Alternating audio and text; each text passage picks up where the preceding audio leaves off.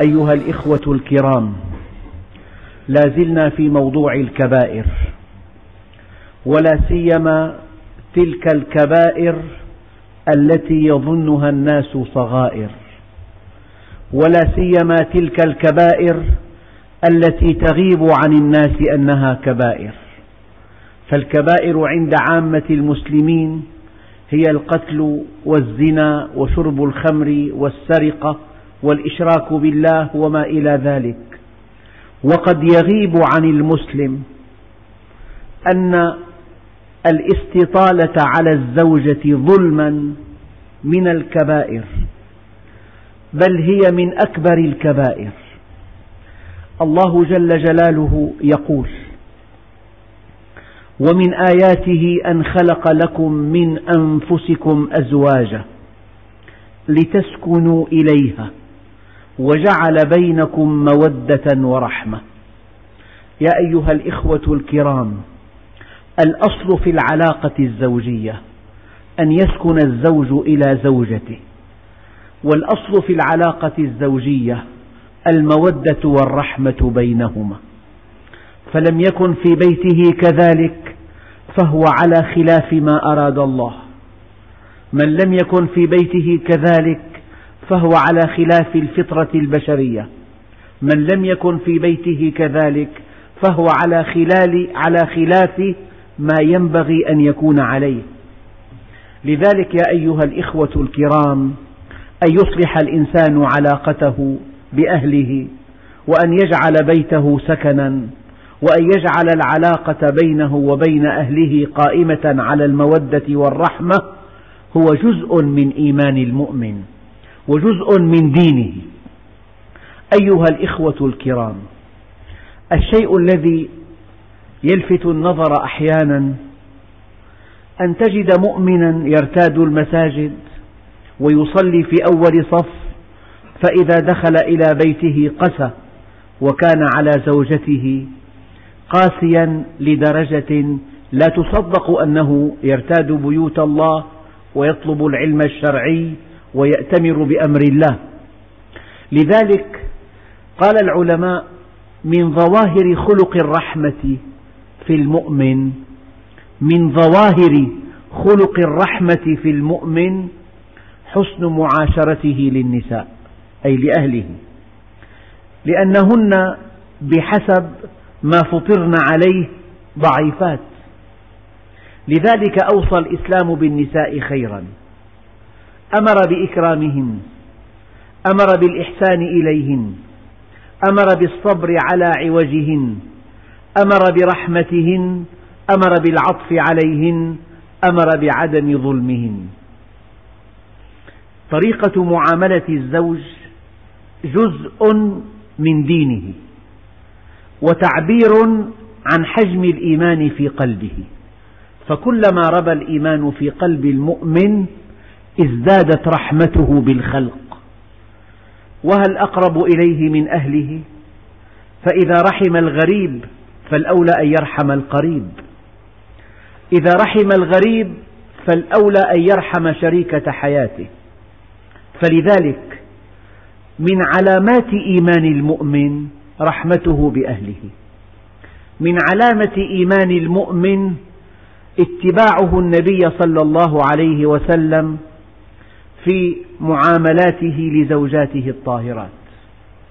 أيها الإخوة الكرام لا يخفى عليكم أن سعادة المرء في بيته أساس سعادته العامة لأن ألصق شيء في الإنسان بيته. فلذلك الاستطالة على الزوجة ظلما وتعسفا هو من أكبر الكبائر. بل هو من الكبائر التي غابت عن ذهن المسلمين أنها كبائر. بل هو من الكبائر التي تظن يظن أنها من الصغائر. أيها الإخوة الكرام روى الإمام البخاري ومسلم عن أبي هريرة رضي الله عنه ولا يخفى عنكم أن الحديث الذي يرويه الإمام البخاري ومسلم معا حديث متفق عليه وهو من أعلى درجات الأحاديث.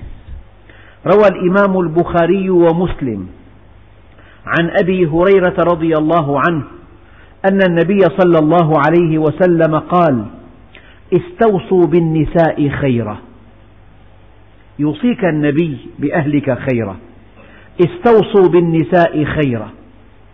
فإن المرأة خلقت من ضلع.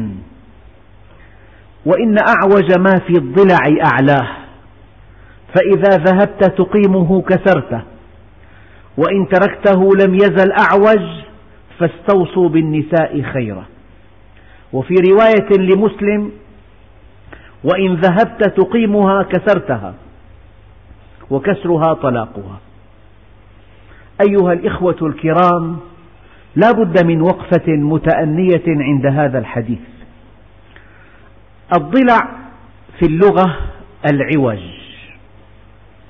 وقد يغيب عن الرجل أن خصائص المرأة غير خصائص الرجل. إن خصائص المرأة النفسية والفكرية والجسمية والاجتماعية غير خصائص الرجل الفكرية والجسمية والاجتماعية والنفسية. وأن الزوج وأن الزوج وزوجته متكاملان وليسا متطابقين. متكاملان. ألا ترون إلى قوله تعالى والليل إذا يغشى والنهار إذا تجلى وما خلق الذكر والأنثى إن سعيكم لشتى. ألا يلفت النظر أنه ما العلاقة بين الليل إذا يغشى والنهار إذا تجلى؟ وبين الذكر والأنثى. كما أن الليل جعله الله ضياء وجعله الله لكسب الرزق جعل الليل لباسا وجعله سكينة وجعله للراحة والسكون. كذلك الرجل له دور يتميز عن دور المرأة. الدوران متكاملان وليسا متطابقين. هذه التي جاءت تشكو النبي صلى الله ع... تشكو إلى النبي صلى الله عليه وسلم زوجها. قالت يا رسول الله إن فلانا تزوجني وأنا شابة ذات أهل ومال وجمال فلما كبرت سني ونثر بطني وذهب مالي وتفرق أهلي قال أنت علي كظهر أمي ولي منه أولاد إن تركتهم إليه ضاعوا وإن ضممتهم إلي جاعوا. هذه المرأة التي شكت إلى النبي زوجها وضحت بشكل بليغ أن للرجل دورا لا تنافسه فيه المرأة وأن للمرأة دورا لا تنافسها لا ينافسها فيه الرجل. إنه لكسب الرزق وللعلاقات العامة. وللعمل خارج البيت وإنها لتربية الأولاد وليكون البيت سكنا للزوج. حينما يظن الزوج أن المرأة ينبغي أن تكون على شاكلته فقد وقع في وهم كبير. أيها الإخوة الكرام الضلع هو العوج وهذا الضلع الذي في, في الصدر. كم يكون محرجا ومؤذيا لو كان مستقيما؟ إن كماله في عوجه. والعوج يعني الانعطاف. والانعطاف يعني العطف. فبشكل أو بآخر الحديث يشير إلى أنه ما زاد من قوة إدراك الرجل. وما زاد من اهتمامه بالقضايا العامة وما قل من انفعاله واهتمامه بالقضايا الجزئية كمال في الرجل. وما نقص من قوة إدراك المرأة واهتمامها بالقضايا العامة وما زاد من عاطفتها وانحنائها على أولادها واهتمامها بالدقائق والتفصيلات هو كمال فيها. وكنت أضرب على هذا المعنى مثلا رائعا هو أن السيارة التي أعدت لنقل البضاعة ما زاد في المكان المخصص لنقل البضاعة وما قل في المكان المخصص لنقل الركاب كمال فيها.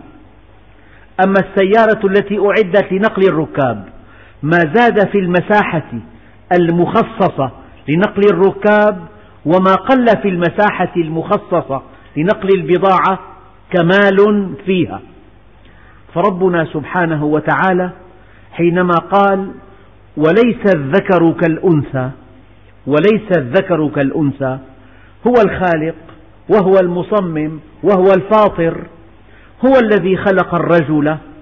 وإذا قلت الرجل أعني جنس الرجال لأن هناك فروقا فردية قد على مستوى الأفراد تتفوق المرأة على الرجل في نواحي كثيرة. ولكن إذا قلت المرأة والرجل أعني جنس الرجال وجنس النساء. أيها الإخوة الكرام كما قلت قبل قليل إن الرجل الذي يطمح أن تكون امرأته على شاكلته هو لا يعرف حقيقة المرأة. وإن المرأة التي تطمح أن يكون زوجها على شاكلها لا تعرف حقيقة الرجل. إنهما متكاملان متعاونان.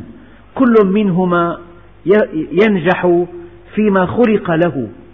فإذا تبادلت المواقع فإذا بدلنا في المواقع والمهمات وقعنا في فساد كبير. أيها الإخوة الكرام من الثابت أن المرأة كالرجل في التكليف والتشريف والمسؤولية. ومن الثابت أيضا أنها تمتاز بطبيعة جسمية ونفسية واجتماعية وفكرية تتميز بها عن الرجل وأن الرجل يتميز بطبيعة جسمية وفكرية واجتماعية ونفسية يتميز بها عن المرأة وهذا مصداق قوله تعالى وليس الذكر كالأنثى فيا أيها الإخوة الأكارم النبي عليه الصلاة والسلام يقول استوصوا بالنساء خيرا.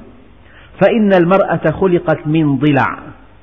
يعني اهتمامها الشديد بالجزئيات والتفاصيل وتعلقها الشديد بأولادها واهتمامها بزينتها هو مما يكمل حياة الرجل.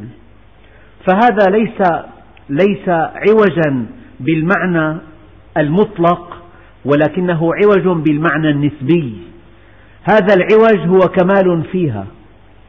إنه عوج العطف إنه عوج الاهتمام بأولادها إنه عوج الاهتمام بزينتها كي ترضي زوجها. هذا هو الأصل.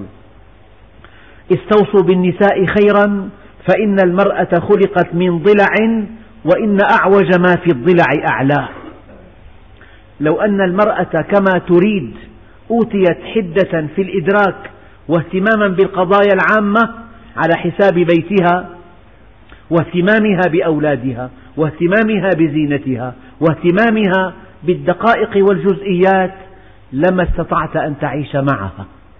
إذا وإن أعوج ما فيه أعلاه وإن تركته لم يزل أعوج فاستوصوا بالنساء خيرا. أيها الإخوة الكرام المؤمن تكشف له الحقائق.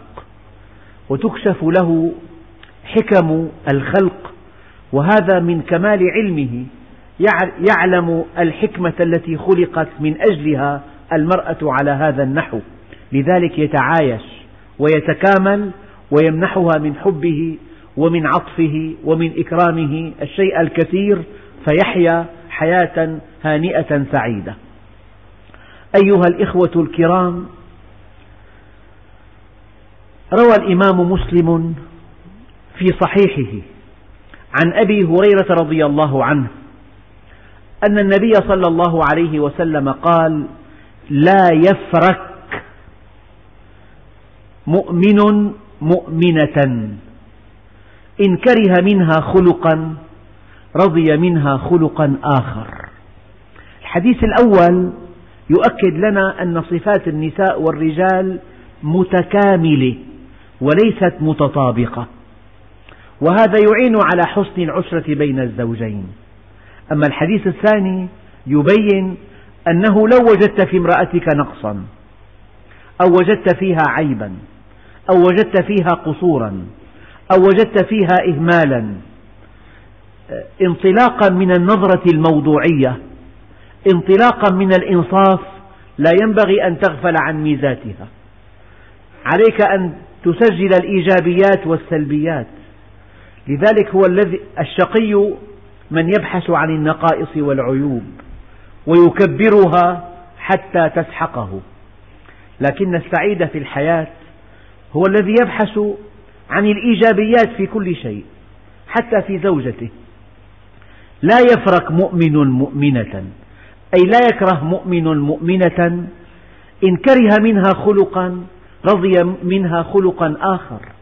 فالإنسان في ثورة الغضب وفي شدة الكراهية عليه أن يذكر الإيجابيات عليه أن يذكر عفتها عليه أن يذكر استقامتها عليه أن يذكر تدينها عليه أن يذكر حسن إدارتها للبيت عليه أن يذكر الإيجابيات فإذا ذكرها بإنصاف ثم ذكر السلبيات ربما رآها ليست بشيء. أما هذا الذي لا ينظر إلا إلى العيب ولا ينظر إلا إلى النقص يتغافل عن الإيجابيات ويبرز السلبيات هذا إنسان شرير. والنبي عليه الصلاة والسلام آه، بشكل أو بآخر آه، دعا فقال اللهم إني أعوذ بك من جار سوء.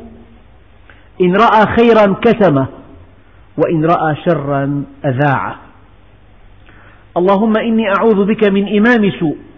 إن أحسنت لم يقبل وإن أسأت لم يغفر. يقاس على هذين الدعائين أن الرجل إن رأى خيرا فكتمه وإن رأى شرا فأذاعه هذا زوج سوء. أو أن الرجل إن أحسنت إليه امرأته لم يقبل وإن أساءت لم يغفر هذا قرين سوء. فيا أيها الإخوة الكرام أؤكد على هذه الناحية أن جزءا كبيرا من دينك وجزءا كبيرا من إيمانك يظهر في طريقة معاملتك لأهلك. الحديث الثاني الذي رواه الإمام مسلم في صحيحه عن أبي هريرة رضي الله عنه: لا يفرك مؤمن مؤمنة إن كره منها خلقا رضي منها خلقا آخر. أيها الإخوة الكرام، العقل سلطان، الإنسان أحيانا يتحرك وفق نزواته أو وفق غضبه أو وفق توتره النفسي دون أن يجعل لعقله حكما وسلطانا. فإذا رأى نقيصة كبرت عليه وأقام النكير وأرغى وأزبد وربما طلق امرأته لسبب تافه ثم يكون الندم الشديد. لا يفرك مؤمن مؤمنة إن كره منها خلقا رضي منها خلقا آخر. اجعل موازنة بين الإيجابيات والسلبيات. أيها الإخوة الكرام وفي خطبة حجة الوداع وهي الخطبة الحاسمة التي رسمت للمسلمين منهج حياتهم خص النبي صلى الله عليه وسلم جزءا من خطبته للتوصية بالنساء. فقال عليه الصلاة والسلام في خطبة حجة الوداع ألا واستوصوا بالنساء خيرا. ألا واستوصوا بالنساء خيرا. ألا واستوصوا بالنساء خيرا. فإنما هن عوان عندكم. عوان جمع مفرده عانية والعانية مؤنث عان والعاني هو الأسير. إنها مأسورة عندكم. لذلك قال بعض الصحابة الزواج رق فلينظر أحدكم أين يضع كريمته. الزواج رق فلينظر أحدكم أين يضع كريمته. أيها الإخوة الكرام هناك حديث رابع وهو من الأهمية بمكان. ذلك أن الإنسان في الأعم الأغلب يتصرف خارج البيت بذكاء وتخطيط حفاظا على مكانته وعلى سمعته وعلى شخصيته وعلى ما يقوله الناس في غيبته. هذا من خصائص الإنسان يدافع عن مكانته بذكاء تصرفاته. ولكن المألوف وفي الأعم الأغلب أن الإنسان إذا دخل بيته يتصرف على سجيته من دون تكلف. لذلك عد النبي صلى الله عليه وسلم مقياس الخلق الكريم لا ما تفعله بين الناس بل ما تفعله في البيت. الإنسان خارج البيت يتصرف بوعي وبإدراك وبتخطيط ساعيا للحفاظ على مكانته أو لرفع شأن ذاته بين الناس. فيبدي من التسامح والحلم والطيب والعطف والرحمة ما لا سبيل إلى وصفه وهو في الحقيقة يبحث عن تأكيد ذاته وعن رفع شأنها بين الناس. ولكنه في الأعم الأغلب أن الإنسان إذا دخل بيته تصرف على سجيته عفو الخاطر من دون آه، تخطيط أو من دون تركيز. لذلك النبي عليه الصلاة والسلام الذي أوتي جوامع الكلم والذي لا ينطق عن الهوى يقول عليه الصلاة والسلام أكمل المؤمنين إيمانا أحسنهم خلقا. أكمل المؤمنين إيمانا أحسنهم خلقا. وفي تعليق قصير على قول النبي عليه الصلاة والسلام أن الله سبحانه وتعالى حينما مدح النبي عليه الصلاة والسلام خالق الكون يمدح نبيه رسوله المخلوق الأول ما مدحه؟ بأنه خطيب ولا بأنه عالم ولا بأنه مفتي ولا بأنه مجتهد ولا بأنه قائد ولا بأنه زعيم ولا بأنه قائد حربي ولا بأنه زعيم سياسي. قال وإنك لعلى خلق عظيم. فالإيمان بالتعريف الجامع المانع حسن الخلق. الإيمان حسن الخلق.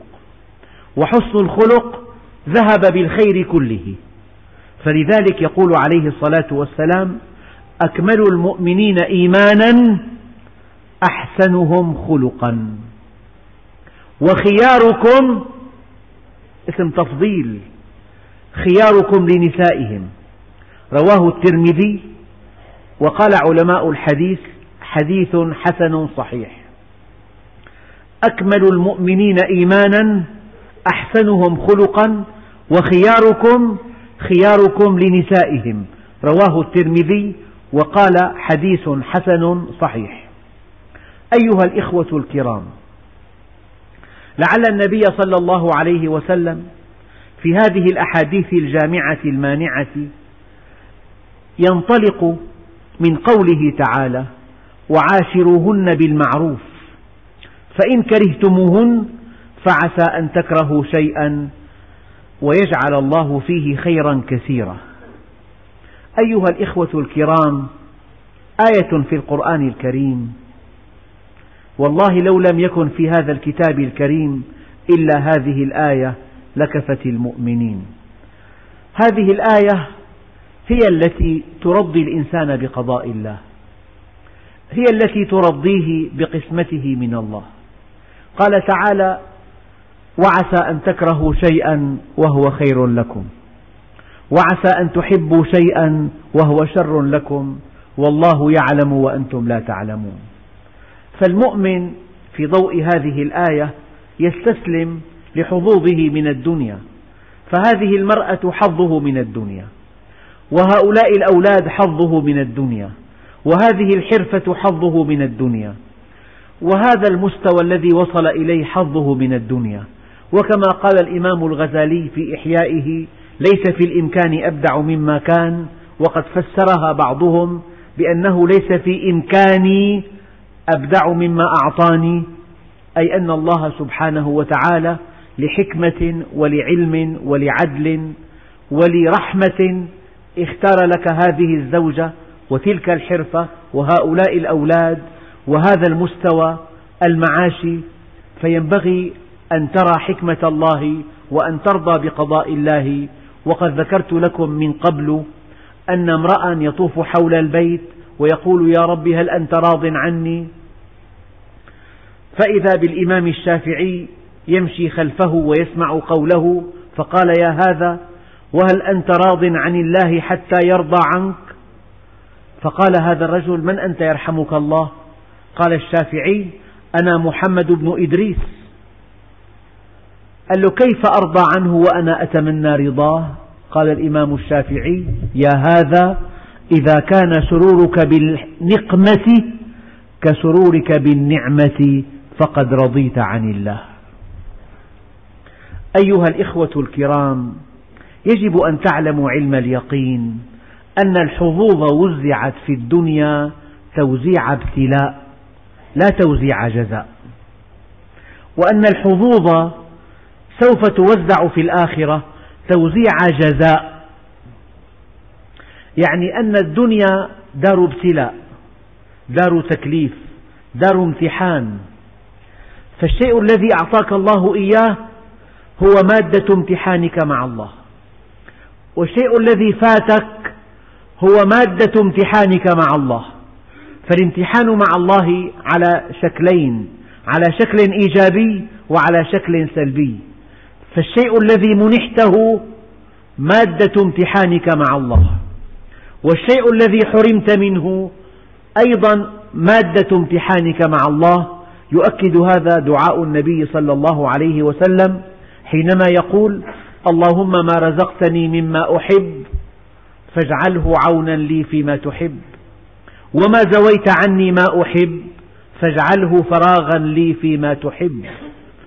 فالشيء الذي نلته من الله إن على مستوى الزوج أو على مستوى الأهل أو على مستوى الولد أو على مستوى الدخل مادة امتحانك مع الله. والشيء الذي فاتك من الزوجة أو من الولد أو من الأهل أو من البيت أو من الدخل أو من الحرفة مادة امتحانك مع الله. والدنيا دار ابتلاء والآخرة دار عطاء. الدنيا دار تكليف والآخرة دار تشريف. الدنيا دار عمل والآخرة دار جزاء. فلذلك المؤمن الحصيف العاقل يعول على ما في الآخرة من عطاء أبدي سرمدي ولا يعول على ما في الدنيا. أردت من هذه المقدمة أن أصل إلى أنه ما كل بيت يبنى على الحب. ما كل زواج يبنى على الحب. المؤمن لو لم يكن في قلبه تلك المحبة الجارفة لأهله هو في حقيقته يكرمهم ويحسن إليهم لعل الله سبحانه وتعالى يرضى عنه ولعله بهذا الإحسان إلى زوجته يأخذ بيدها إلى الله. والدنيا فانية. فيا أيها الإخوة الكرام هذا الذي يظن أن الدنيا هي كل شيء وأن المرأة في الدنيا هي كل شيء وأن سعادته كلها في زوجة تروق له هذا واهم وبعيد عن الصواب. أيها الإخوة الكرام لعل في الأحاديث الشريفة التي ذكرها النبي صلى الله عليه وسلم لعل هذه الأحاديث لعل هذه الأحاديث كلها تنطلق من قوله تعالى وعاشروهن بالمعروف فإن كرهتموهن فعسى أن تكرهوا شيئا. ويجعل الله فيه خيرا كثيرا. قال علماء التفسير معنى المعاشرة بالمعروف إعطاء الزوجة حقوقها والإحسان إليها والتلطف معها وإدخال السرور على قلبها والصبر على عوجها والإنفاق عليها بالمعروف وعدم إيذائها وعدم مكارهتها. ليست المعاشرة بالمعروف أن تمتنع عن إيقاع الأذى بها بل أن تحتمل الأذى منها. أيها الإخوة الكرام توضيح لا بد منه. قول النبي عليه الصلاة والسلام لا يفرق مؤمن مؤمنة إن كره منها خلقا بعضهم يرى أن الكراهة قد تكون ذوقية. الرجل إذا كره من زوجته ضعف دينها وضعف إيمانها وضعف أمانتها وضعف حفظها لنفسها هذه كراهة محق بها. لكن قد يكره ذوقا منها بعض ما فيها. هذه كراهة لا تقدم ولا تؤخر. هذه التي حضنا النبي عليه الصلاة والسلام على مجاوزتها. لكنك إذا رأيت منها كذبا أو ضعفا في إيمانها أو تركا لصلاتها أو تبذلا في خروجها ولم تكره ذلك فلست مؤمنا. ينبغي أن تكره منها هذه التصرفات وينبغي أن تقيمها تقومها وأن تقيمها. أيها الإخوة الكرام المؤمن ينبغي أن يسعى إن لم يكن متزوجا إلى أن يبحث أو إلى زوجة صالحة. ورد في الحديث الشريف أنه من تزوج المرأة لجمالها أذله الله ومن تزوجها لمالها أفقره الله ومن تزوجها لحسبها زاده الله دناءة فعليك بذات الدين تربت يداك. أما إذا كان متزوجا ليضع نصب عينيه قوله تعالى وأصلحنا له زوجه. فكلما سعى الرجل لإصلاح ذات بينه أصلح الله له زوجته. وقد يقول وقد قال الإمام الشعراني رحمه الله تعالى أنا أعرف مقامي عند ربي من أخلاق زوجتي. أيها الإخوة الكرام أن يسعد الإنسان في بيته هذا عون له على مواجهة مصاعب الحياة. أما إذا كانت الجبهة الداخلية منهارة والجبهة الخارجية منهارة فهذا وضع لا يحتمل. لذلك أن تكون في بيتك سعيدا وأن تكون متفاهما وأن تحرص على إقامة الإسلام في بيتك وأن يكون هذا البيت وفق منهج الله وفق شريعة الله. هذا مما يسعدك وهذا مما يعينك على تحمل مشاق الحياة. أيها الإخوة الكرام حاسبوا أنفسكم قبل أن تحاسبوا وزنوا أعمالكم قبل أن توزن عليكم واعلموا أن ملك الموت قد تخطانا إلى غيرنا وسيتخطى غيرنا إلينا فلنتخذ حذرنا. الكيس من دان نفسه وعمل لما بعد الموت والعاجز من أتبع نفسه هواها وتمنى على الله الأماني والحمد لله رب العالمين.